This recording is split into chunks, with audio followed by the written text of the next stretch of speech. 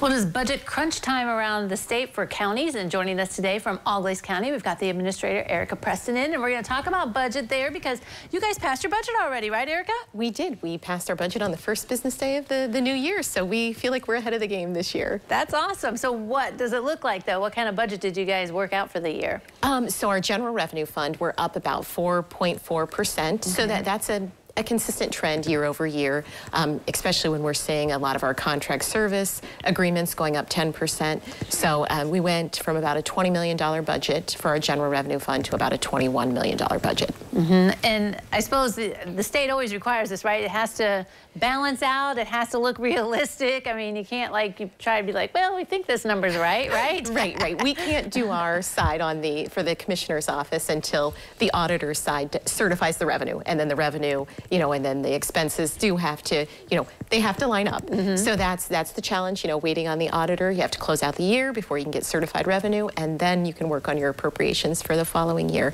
But, um, you know, we're excited that it kind of went off without a hitch. That's um, good. You know, when we were looking at our revenue numbers from 2022, sales tax is our bread and butter, mm -hmm. and, and, we were we were right where we expected to be. We were down about a, a, a percent and a half. So, you know, margin of error, that's absolutely fine. So we're, we're comfortable.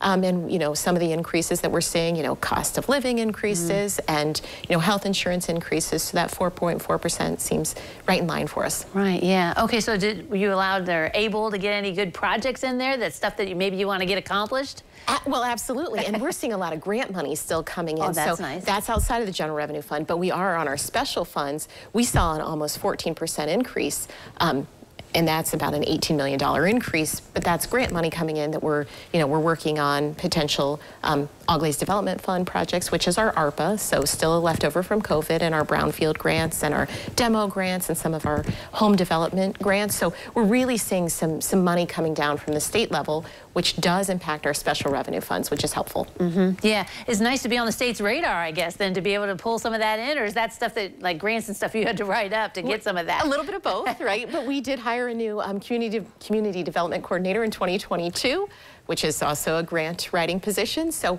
we're really trying to take advantage of any money we can see that we can pull into the county that we're, we're taking advantage on top of all of our other funds that come in for the general revenue fund. Right, yeah. I mean, it sounds like those are projects and things that you can do that residents in the whole county will notice. I mean, this is just not funds where you're going to do stuff and no one really realizes right, it, right? right? I mean, obviously county level where we try to impact everyone in the county and, and making a difference. And it might be a community, a specific community project, but then a project in the other community as well. So everyone's really feeling that impact.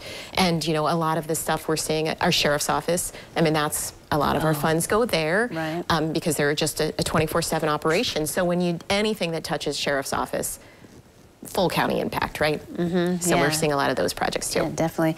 Do you think like, uh, you know, everyone's worried about inflation and the rising costs. Did that really hit your budget, you know, hard or is it like you've been able to kind of deal with that? There's definitely some pockets where it's hitting. I mean, for fuel costs, we, are seeing an 18% mm. increase in our budget for fuel, and that's a big increase right? Things that um, we saw in 22, we're seeing it again in 23. Yeah. So yeah, we are. There, there are certain pockets that we really are hitting, the inflation is hitting us. Mm -hmm. But it seems like Auglaize County is doing pretty good as far as like jobs, right? I mean, it seems like employment's pretty low yes, and things, see, right? Our employment numbers continue to, to stay low. So um, well, that's good, right? Because people are working and very Sure, but when we bring, yeah, so we workforce development is something we focus on. We, we need people. We need people coming into the area to, to do those jobs because our um, uh, unemployment is so low. So yeah, but that is something we focus on as well. All right. Some positive budget news from Auglaize County. Absolutely. Thank All you. right. Thanks for coming.